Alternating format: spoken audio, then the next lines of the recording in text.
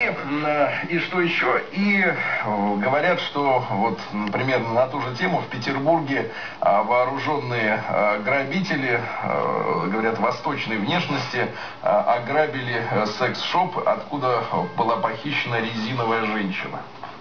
Тоже такое сообщение. То есть сил терпеть, Видимо, терпежа не было. да, сил терпеть больше не было, да? Друзья Главное, чтобы не здоровы.